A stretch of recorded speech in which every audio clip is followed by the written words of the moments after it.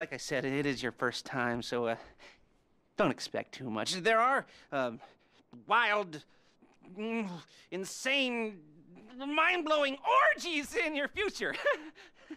orgies! but, uh, you know, we all gotta start somewhere.